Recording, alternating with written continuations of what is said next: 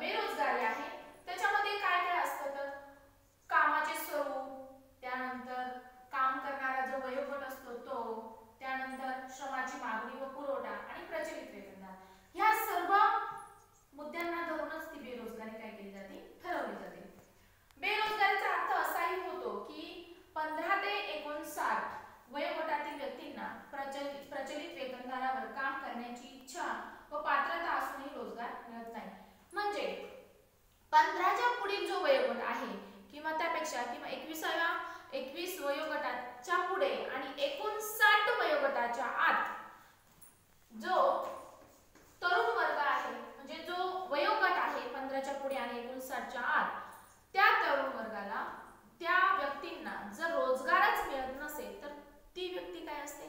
बेरोजगार असते. ती ही व्यक्ती काय असते? बेरोजगार असते. म्हणजे त्यांच्याकडे पात्रता आहे सर्व काय आहे पण त्यांच्याकडे काम उपलब्ध नाही. मग तीही यामध्ये आपण काय करू शकतो? बेरोजगारीमध्ये इन्क्लूड करू शकतो. मग एखाद्या व्यक्तीस म्हणजे आठवड्यातील किमान काही तासच काम असतं. म्हणजे तर ती व्यक्ती ही बेरोजगार ठरू शकते. त्या व्यक्तीला आठ दिवसामध्ये फक्त थोडे दिवस म्हणजे पाच तास म्हणा सहा तास म्हणा जर एवढंच काम असेल तर ती व्यक्ती तिच्या कुटुंबातील सर्व जबाबदारी घेऊन आर्थिक बाबींची पूर्तता करू शकत नाहीये तर तीही एक प्रकारे बेरोजगारीच असू शकते. म्हणजे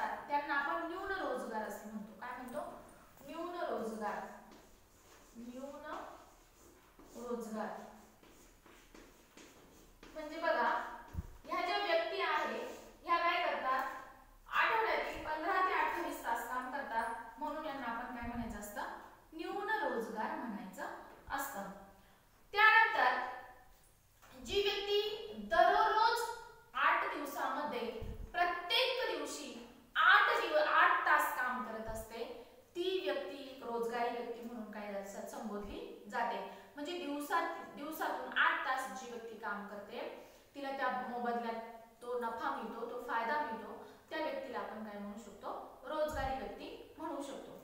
त्यानंतर बेरोजगारीचे अनेक प्रकार आहेत. तर त्याच्यामध्ये अनैच्छिक बेरोजगारी आहे.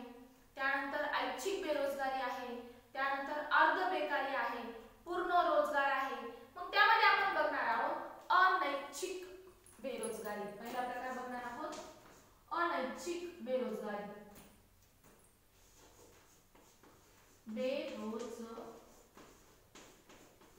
बेरोजगारी प्रकार आता बेरोजगारीचे प्रकार काय पहिला आहे अनैच्छिक बेरोजगारी पहिला प्रकार आहे अनैच्छिक बेरोजगारी अ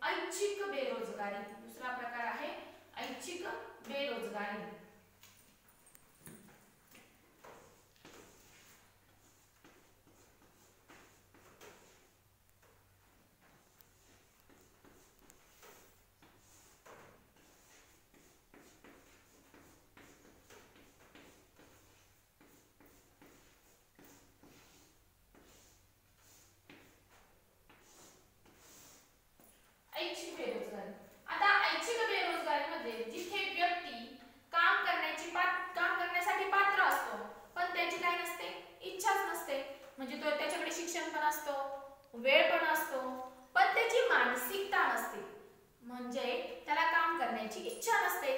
तर मग ह्या काम करण्याच्या इच्छा नसलेल्या बेरोजगारीला आपण काय म्हणणार आहोत? ऐच्छिक बेरोजगारी. म्हणजे त्याच्या मनानुसार तो काय करणार? काम करणार. त्याची इच्छा नसेल तर तो काम करणार नाही. तर ही झाली काय? ऐच्छिक बेरोजगारी. ही काय झाली? ऐच्छिक बेरोजगारी. पहिल्यांदा आपण काय बघितला? अनैच्छिक बेरोजगारी.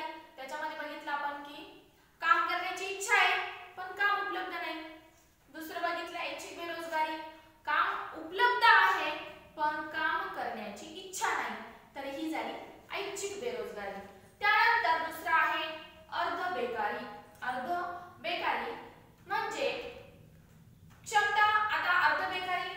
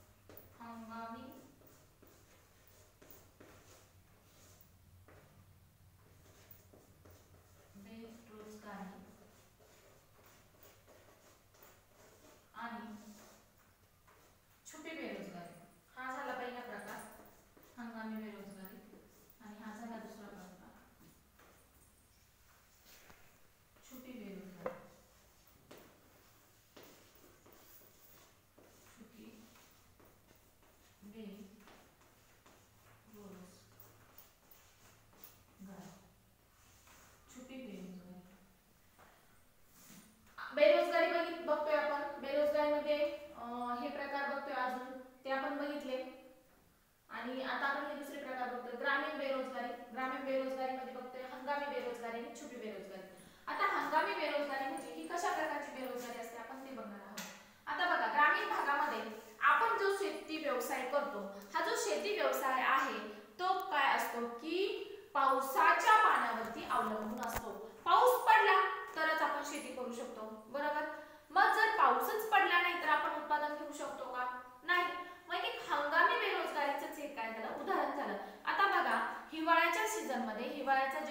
येतो तेव्हा ऊसतोड सुरू होते.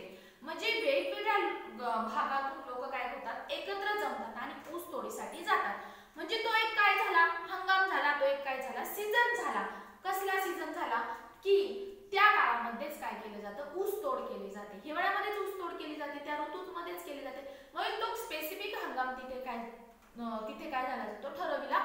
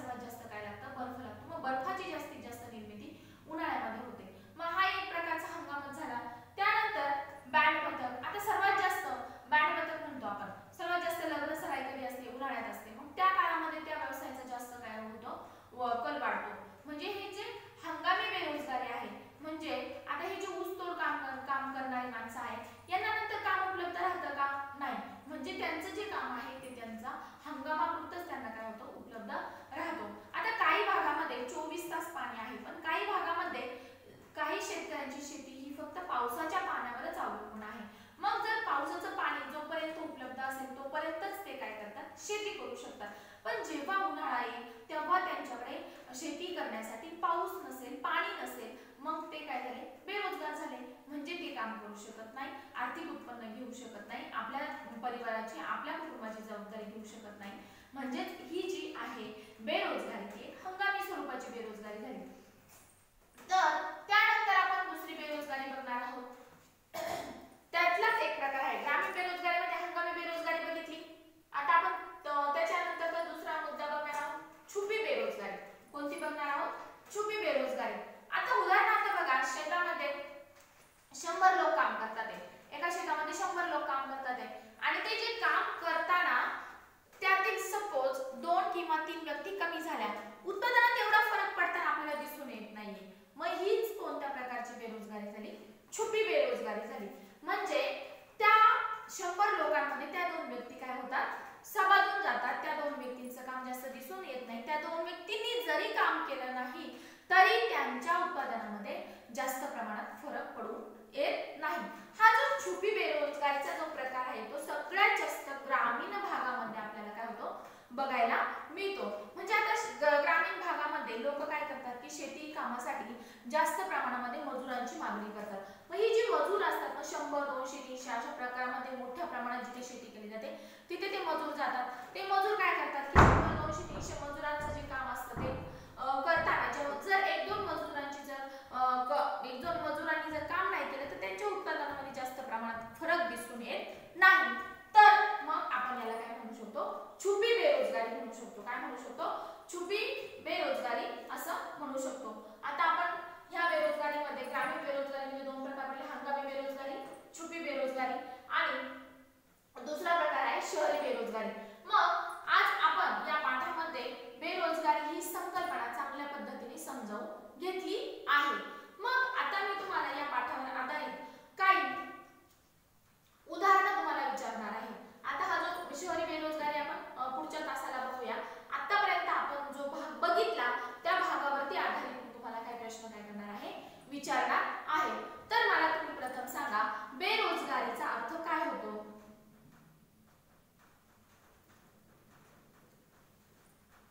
तर ही जी बेरोजगारी आहे बेरोजगारी म्हणजेच मी तुम्हाला समजून सांगितलेलं आहे बेरोजगारीची व्याख्या ती तुम्ही काय करायची? घरून येताना पाठांतर करून यायची.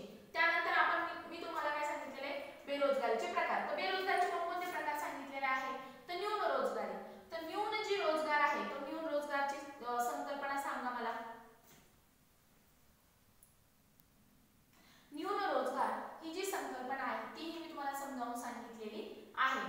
त्यानंतर आपण बेरोजगारीचे काही प्रकार बघितलेले आहे अनैच्छिक प्रकार ऐच्छिक बेरोजगारी हे आपण सर्वच हे पाठामध्ये बघितलेले आहे